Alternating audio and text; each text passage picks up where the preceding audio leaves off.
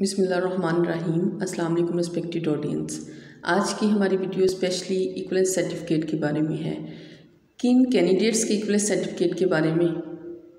जिन्होंने literacy and non formal basic education department में monitor B S fourteen और literacy mobiliser B S fourteen के लिए apply किया और उनकी क्वालिफ़िकेशन रिक्वायर्ड क्वालिफ़िकेशन की इक्वल नहीं थी। आज की इस वीडियो में हम दो बातें डिस्कस करेंगे। नंबर वन क्या literacy and non formal basic education department monitors और लिटरेसी मोबलाइज़र के कैंडिडेट्स को इक्वलेंस सर्टिफिकेट जारी करेगा? और नंबर टू अगर इक्वलेंस सर्टिफिकेट देगा तो कब तक देगा?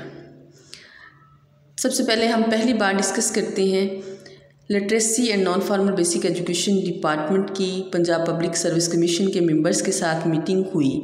और उस मीटिंग का डिसीज़न आप लोगों के हक में था कि कैंडिडेट्स को इक्वलेंस सर्टिफिकेट दिया जाए।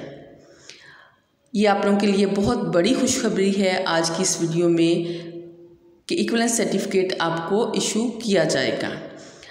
अब दूसरी बात हम डिस्कस करते हैं कि literacy and non formal basic education department candidates को कब तक इक्वलेंस सर्टिफिकेट इशू करेगा। देखिए जी, हर डिपार्टमेंट की काफ़ी सारी फॉर्मेलिटीज़ होती हैं। इसी तरह literacy and non formal basic education department की फॉर्मेलिटीज़ हैं। वो अपनी फॉर्मेलिटीज़ को पूरी करने के बाद आप लोगों को इक्वलेंस सर्टिफिकेट इशू करेगा इन सब कैंडिडेट्स जिन्होंने इक्वलेंस सर्टिफिकेट के लिए अप्लाई किया है, उनको इक्वलेंस सर्टिफिकेट ज़रूर इन इशू किया जाएगा। इसलिए वो कैंडिडेट्स जो बार बार मुझसे पूछते हैं कमेंट्स बॉक्स में और मैं उनका रिप्लाई नहीं कर पाई। टाइम की कमी की वजह से उन सब के लिए कंबाइन मैंने ये वीडियो बनाई है क्योंकि आप लोग बहुत परेशान हैं क्या लिटरेसी डिपार्टमेंट उनको इक्वलेंस सर्टिफिकेट भी देगा या नहीं देगा, अगर देगा तो कब तक देगा? आपकी परेशानी इस वीडियो के बाद इंशाल्लाह ख़त्म हो जाएगी कि आपको इक्वलेंस सर्टिफिकेट मिलेगा।